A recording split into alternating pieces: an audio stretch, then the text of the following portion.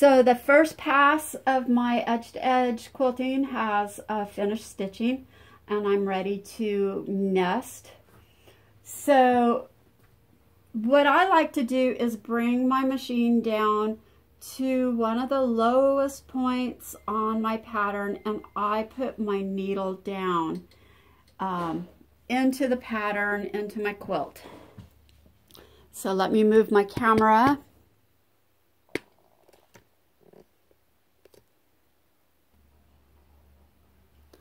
So to nest this pattern, I'm just going to click on my nesting icon and the screen tells you exactly what to do.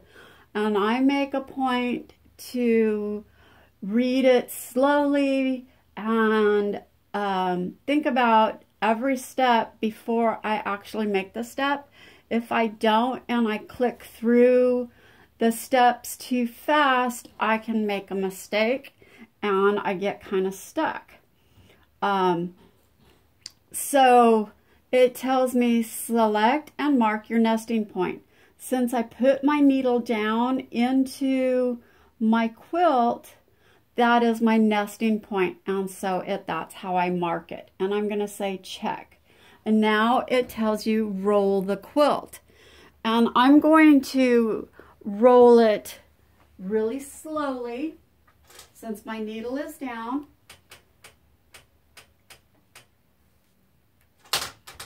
and I roll it to where I'm ready to do my second pass. So roll the quilt. Okay, I did that. Move the machine to your nesting point. Since my needle is down, it didn't move, so it is at the nesting point. So I say, okay. And it puts in a second pattern. So the grade pattern you see up here is your first pass. And the second one down here is your next pass that it's going to quilt. At this point, you can double check your spacing. And since we set that before we stitched our first pass, it's good to go. So all I have to do is say, okay, and it's ready to quilt.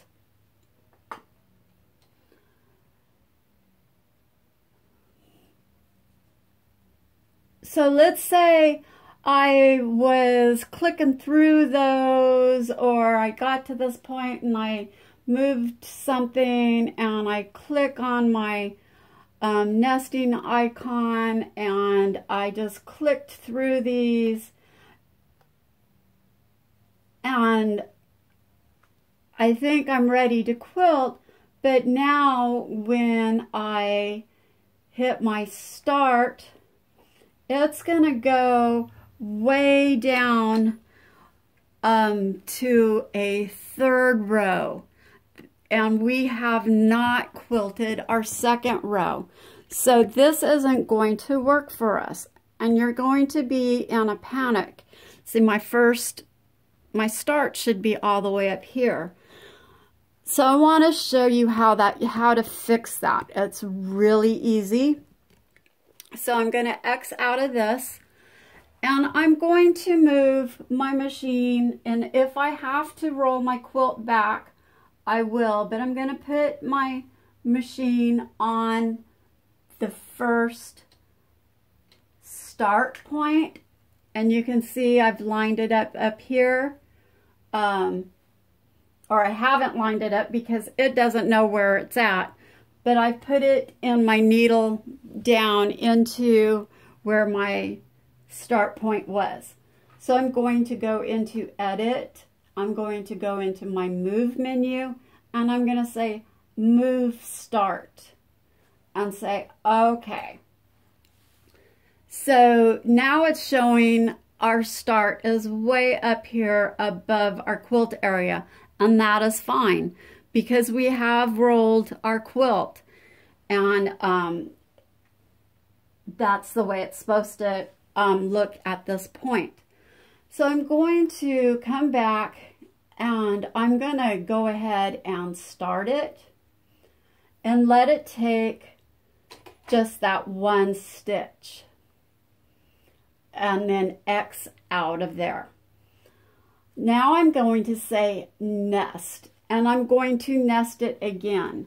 I'm going to bring my needle down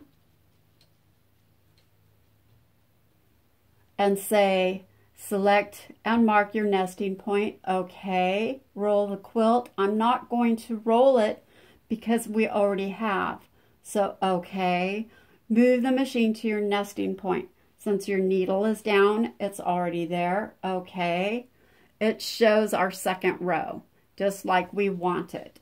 Okay, so nesting is complete and it's ready to go.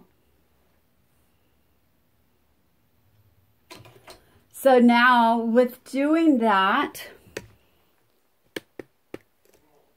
the machine moved to the next point exactly where it's supposed to be.